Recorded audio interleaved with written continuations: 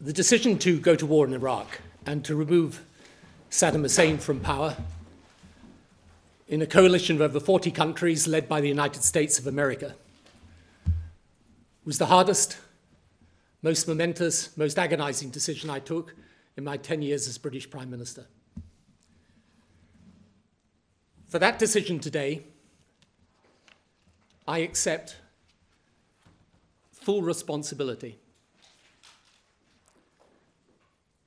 Without exception and without excuse.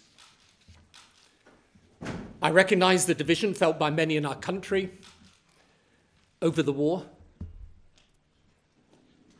And in particular, I feel deeply and sincerely, in a way that no words can properly convey,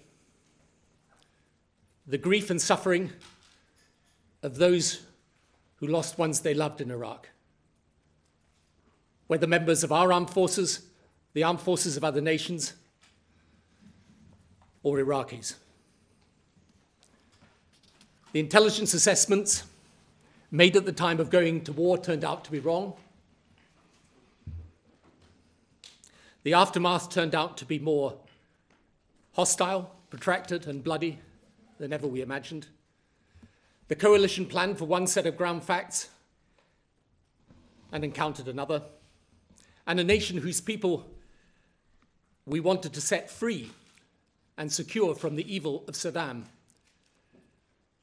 became instead victim to sectarian terrorism.